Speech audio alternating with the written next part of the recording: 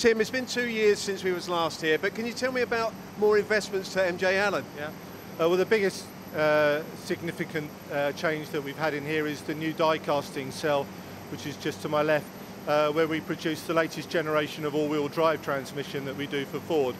Uh, we've still got the old plant running at around 20 units a week, but this new one we're currently running at around 80. So that was a significant investment, about half a million pounds or so uh, for the facilities as well as the die machinery. But that investment is actually, uh, I, I, presume you're producing more for Ford? Yeah, we're doing more for Ford. That particular product line is getting uh, more successful, more uh, interesting. It's sold all across Europe. Um, in addition to the die casting uh, cell, we've also got the heat treatment unit here. So within 24 hours, we've got the castings being heat treated. Another 24 hours later, they're in the machine shop. And within four or five days thereafter, they're being collected by our customer. We've tried to do as much of the work in-house as we can, from the casting to the machining.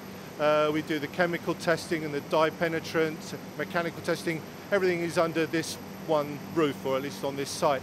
So we try and be a one-stop shop as much as possible. So it's been quite successful for the investment here, but how about the sand casting side of your business? Yeah, sand casting, well that's, uh, originally we were pattern makers and that led into the sand casting and that's still very much at the core of what we do. Uh, we do a range of materials, aluminium, iron and bronze. Uh, we can cast a gross weight up to three tons in iron, a ton in aluminium, a ton in bronze. So we're doing uh, lower quantities but of larger complexity uh, in our sand casting shops. Uh, and those castings then go into our machine shop so we can supply them fully machined as well. I see you've had a little bit of investment in that sort of area on machine tools. What you've you all recently? Yeah, it's spend, spend, spend. So we've invested in the inspection side of the uh, of the machine shop as well. We've got CMMs in an air-conditioned environment uh, because some of the products that we do, we don't want them moving around because there are different temperatures. And also machinery, we're always investing in new kit, either replacing or adding to capacity. And what's for the future, Tim? Well, the thing that we're looking at now is some robotic arm fettling. So uh, uh, we're expecting some kit in that uh, we should be operational in about three months.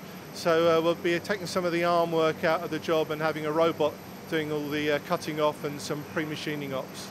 So any OEMs or general manufacturing companies that's looking to put capacity out there, do you have capacity available? Yeah, we're open for business, big, small, uh, castings only, machining only, or the whole package, it's all available.